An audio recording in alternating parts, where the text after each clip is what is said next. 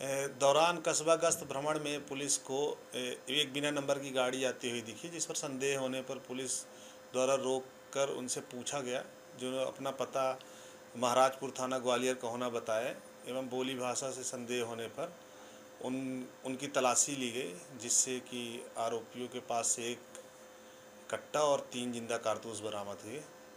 क्या कहना है उनके आरोपियों का?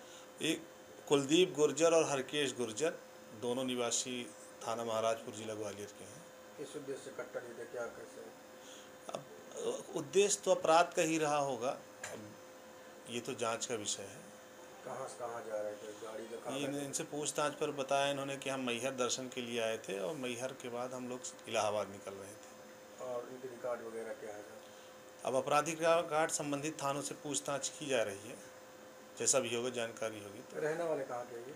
रहने वाले ये ग्वालियर के हैं।